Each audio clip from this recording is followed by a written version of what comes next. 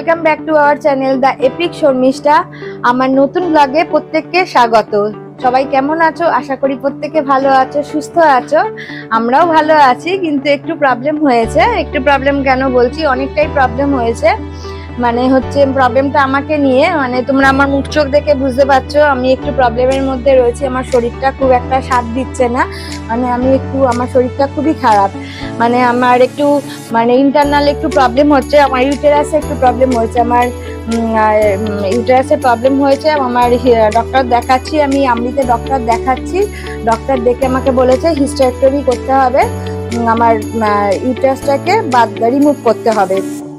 তা সেই নিয়ে আমরা একটু বিজি রয়েছি। আমার মানে সঞ্জীবও খুব বিজি রয়েছে, আমার মাও বিজি রয়েছে, যার জন্য আমি ঠিকঠাক মতন এখন আমরা ব্লগ করতে পারছি না শর্টস করতে পারছি না। বাবানেরও স্কুল বেশ অনেকদিন কামাই হচ্ছে, কারণ কামাই হচ্ছে মানে আমাদের রোজই এখন প্রায় বেরোতে হয়। আজকে মানে ডক্টরের কাছে যেতে হয়, আমরা, আম- আমরা আমরিতে দেখাচ্ছি সল্টলেক আমরিতে ডক্টরের কাছে যেতে হয়, তারপর ডক্টর যে, যেগুলো টেস্ট করতে দেয়, সেসব টেস্ট করতে যেতে হয়। আজকে এই ল্যাব কালকে ওই ল্যাবে সব টেস্ট করতে যেতে হয়। বিভিন্ন রকম আমার টেস্ট হয়েছে টেস্ট হয়েছে ব্লাড টেস্ট হয়েছে ইউএসজি হয়েছে, বিভিন্ন রকম টেস্ট হয়েছে। সেই সমস্ত টেস্ট করাতে মানে করাতে যেতে হয় বলে আমরা মানে একটু বিজি রয়েছি। যার জন্য আমরা ঠিকঠাক মতন এখন মানে ব্লগও করতে পারি না শর্টসও করতে পারি না। তাই জন্য মানে আর বাবানেরও স্কুলটা কামাই হচ্ছে। তাই সেই সব নিয়ে একটু ব্যস্ত রয়েছি। তা যাই হোক, আমার এর মধ্যেই হয়তো হিস্টারেক্টমিটা হবে। তা আমি অপারেশনটা করতে চাইনি আমি বলেছিলাম যে অপারেশনটা করব না, কিন্তু ডক্টর বলছে মানে আমার এন্ডোমেট্রিয়াল থিকনেসটা প্রচণ্ড বেড়ে যাচ্ছে। যার জন্য এখন মানে আমার রিপোর্টগুলো সবই এসে গেছে ইউএসজি রিপোর্ট ব্লাড টেস্টের রিপোর্ট প্যাপ টেস্টের রিপোর্ট সমস্ত এসে গেছে। এখন মানে রিপোর্টগুলো সবই ওকে আছে, কিন্তু এখন কোনো প্রবলেম নেই। মানে ইন্টারনাল প্রবলেমগুলো যেগুলো হচ্ছে, সেগুলো তো হচ্ছেই। মানে এখন মানে রিপোর্টে যেগুলো মানে হয়েছে সেগুলো সবই ওকে আছে। এখন কোনো প্রবলেম নেই, কিন্তু ইন ফিউচার যেটা থিকনেসটা বাড়ছে এন্ডোমেট্রিয়াল থিকনেসটা সেটার জন্য ইন ফিউচার এটা আমার ম্যালিগনেন্সির দিকে যেতে পারে। যার জন্য ডক্টর বলছে এটা এখন ইউটারাসটাকে ইউটারাসটাকে রিমুভ করে দেওয়াই বেটার হবে। কারণ এটা রেখে দিলে মানে এটা ভবিষ্যতে এটা ম্যালিগনেন্সির দিকে যেতে পারে। তাই যাই হোক, আমি তো বলেছিলাম যে আমি অপারেশনটা করব না, কিন্তু সঞ্জীব মা ওরা শুনছে না। ওরা বলছে যে, না অপারেশনটা করিয়ে না তা যাই হোক ওরা যখন বলছে ওদের কথা তো শুনতেই হবে, যাই হোক, ওরা তো আমার ভালোর জন্যই বলছে। বাবান, ওরা তো বলছে ভালোর জন্যই বলছে। আমি তো বলেছিলাম, একদিন তো বলেছিলাম যে করব না এই নিয়ে বাড়িতে খুবই চিৎকার চেঁচিমেচি হয়েছে, বলছে না, করতে হবে। বাবান খুব রেগে গেছিল না, করতে হবে। যাই হোক, ওরা যখন আমরা তো আমার ভালোর জন্যই বলছে, যাই হোক করব অপারেশনটা। তা এর মধ্যেই হয়তো আমার অপারেশনটা হবে। এইসব নিয়ে একটু ব্যস্ত রয়েছি। তাই আজকে অনেকদিন বাদে আমি একটা নতুন ব্লগ নিয়ে এলাম।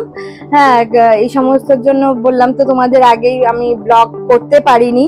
হ্যাঁ আগামী কতদিনের মধ্যে আবার ব্লগ দিতে পারব সেটাও আমি জানি না, কারণ আমার প্রচণ্ড শরীর খারাপ রয়েছে। তাই জন্য হয়তো এর মধ্যে কতদিনে আবার ব্লগ দিতে পারব তাও জানি না। তা যাই হোক, চলো আর কথা বাড়ালাম না। তোমরা আমার ব্লগটাকে পুরোটা স্কিপ না করে দেখতে থাকো।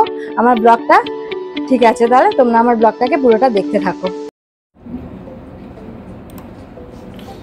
হ্যালো গাইস তোমরা এর আগে শুনতে পেলে শর্মিষ্ঠা যে অপারেশনের কথা বলল ওর যে একটা বড় অপারেশন হওয়ার কথা। তো অ্যাকচুয়ালি সেটা গতকাল হয়ে গেছে। কিন্তু সেই ভিডিওটা আমার পক্ষে করা সম্ভব হয়নি, কারণ এতটাই টেনশানের মধ্যে ছিলাম, আর আমি পুরোপুরি একা, আমার পাশে দাঁড়ানোর মতো কেউ নেই। তো কে ভিডিও করবে, আর কেই বা সব কিছু সামলাবে? শেষ পর্যন্ত শর্মিষ্ঠার এক বান্ধবী, ওর নাম চন্দ্রানী, ওকে বলাতে ও এসেছিল। ওই একমাত্র ছিল আমার সাথে অপারেশনের দিনকে। নাহলে পুরোটা আমি একাই ছিলাম। আর খুব আর্লি মর্নিং অপারেশনটা হয়েছে সাড়ে সাতটার মধ্যে আমাদের আমরিতে ডক্টর পৌঁছানোর জন্য বলেছিল।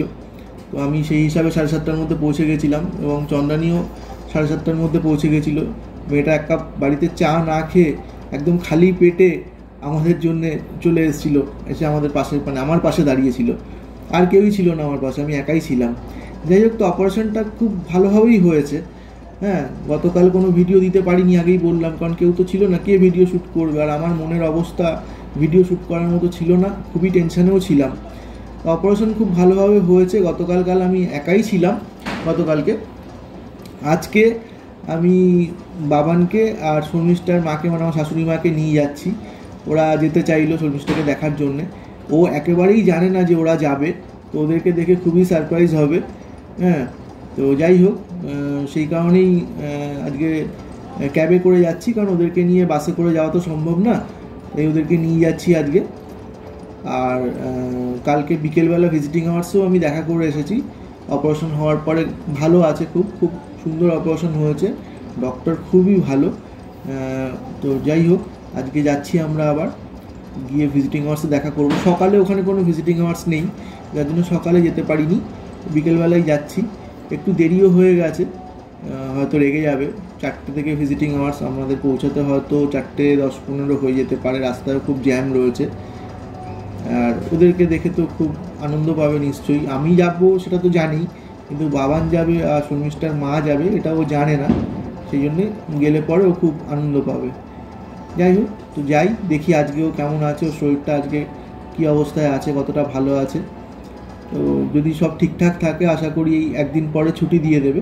তারপরে ওকে বাড়িতে নিয়ে চলে আসব। তো অপারেশন তো খুবই ভালো হয়েছে, তো আশা করা যায় সব কিছু ঠিকঠাকই থাকবে।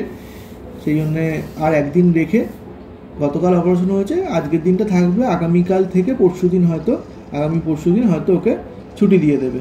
আগামী পরশু ওকে সব কিছু ঠিকঠাক থাকলে বাড়িতে নিয়ে চলে আসব। তো যাই হোক, আমরা চলেছি সল্টলেক আমরির পথে আমরিতেই ওর অপারেশনটা হয়েছে।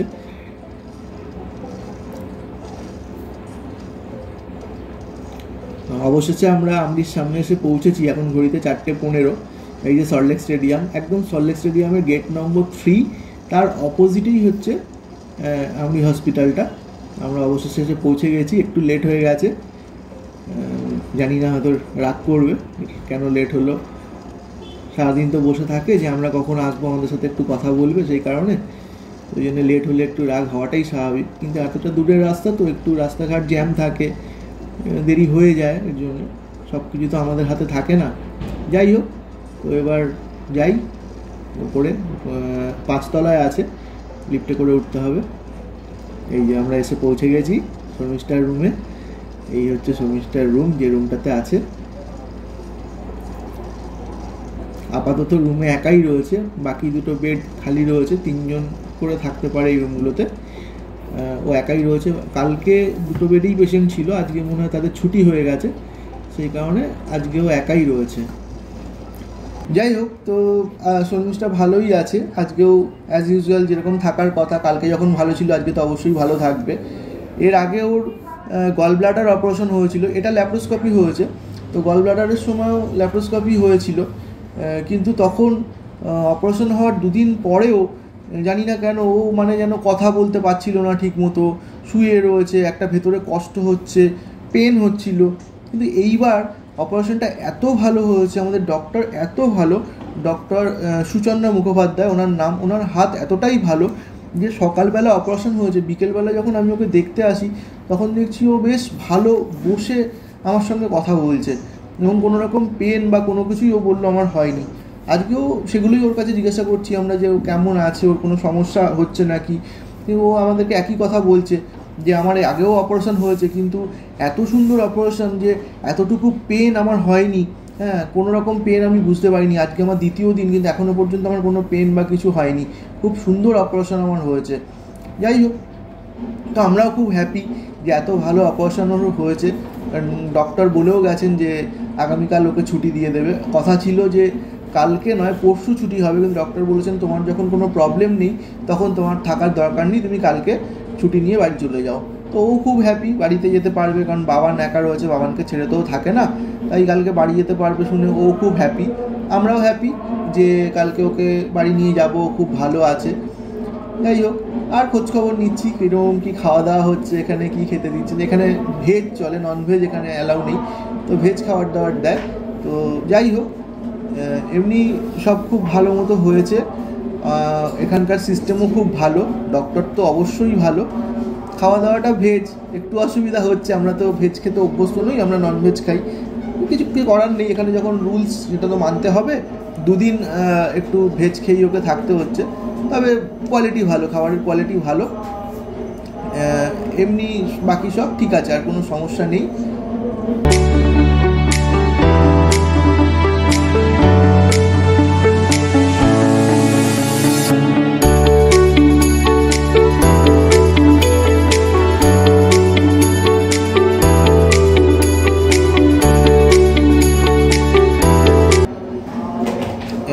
বিকেলবেলার চা চলে এসছে। আমরা ভিজিটিং আওয়ার্সে রয়েছি, সেই সময় ওকে চা দিয়ে গেছে। তো যাই হোক, চাটা একটু বানিয়ে দিই। ও চাটা খাক, বানিয়ে দিই ভালো করে। ওরা অবশ্য সিস্টাররা বানিয়ে দেয়। যেহেতু এখন আমি রয়েছি, তাই বললাম দরকার নেই, আমি বানিয়ে দিচ্ছি। চা এসছে, তার সঙ্গে বিকেলে মুড়ি আর বাদাম। এই হচ্ছে মোটামুটি বিকেলের টিফিন। আর এখানে তো রাতের খাওয়ার ডিনারটা খুব তাড়াতাড়ি হয়ে যায়। হসপিটালে যা নিয়ম হসপিটালে তো আর লেট নাইট করে না। তার জন্য এখন পাঁচটা বাজে। এখনই চা আর সন্ধ্যাবেলার টিফিন চলে এসছে। হসপিটালে পেশেন্টকে চা দেয়। পেশেন্ট পার্টিকে তো পেশেন্টের বাড়ির লোককে তো আর দেয় না। তাই ও চা খাচ্ছে, আমরা তাকিয়ে দেখছি। আমরা পরে নিচে নেবে গিয়ে, নিচে দোকান আছে, সেখান থেকে চা খাব। আপাতত আমরা দেখছি ও চা খাচ্ছে।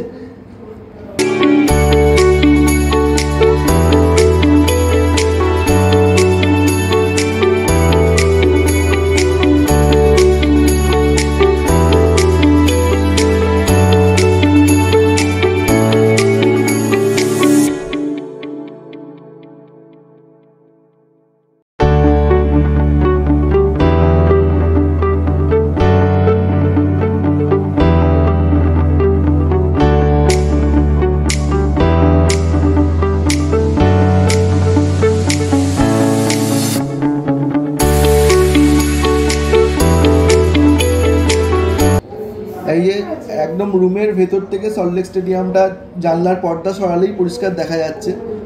আগেই বললাম সল্টলেক স্টেডিয়ামের গেট নম্বর থ্রির একদম অপোজিটে হচ্ছে আমি হসপিটালটা আর ওর রুম থেকে একদম জানলার বাইরে দিয়ে পরিষ্কার স্টেডিয়ামটা দেখা যাচ্ছে।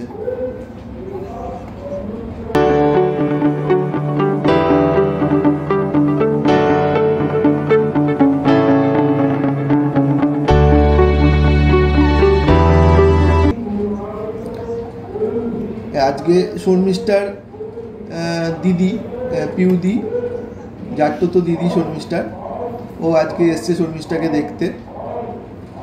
এইমাত্রই এলো। আমাকে ফোন করেছিল, আমি নিচে গিয়ে যেহেতু ভিজিটিং কার্ডটা আমার কাছে ভিজিটার্স কার্ডটা তো আমি নিচে নিয়ে গিয়ে ওকে নিয়ে এলাম। অনেক দূর থেকে এসছে, ওরা থাকে সেই সোদপুর। সেখান থেকে এসছে ওকে দেখার জন্যে।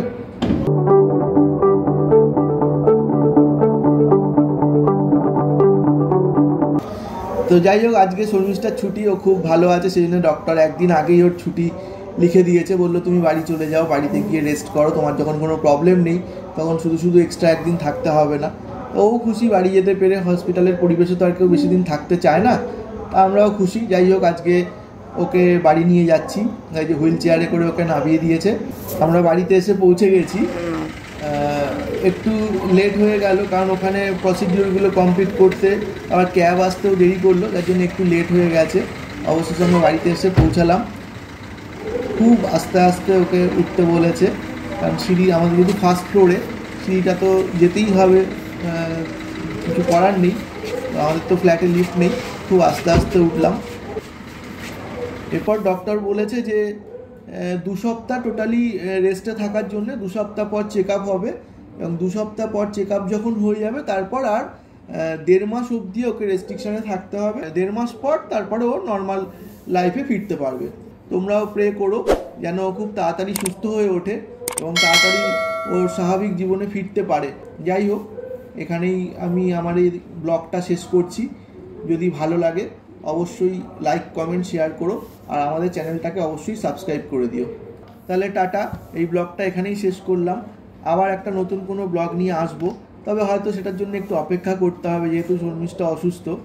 যাই হোক, কিছুদিন দেরি হতে পারে, কিন্তু অবশ্যই আবার আমরা নতুন ব্লগ নিয়ে আসব। আমাদের সেই নতুন ব্লগের জন্য অপেক্ষা করো।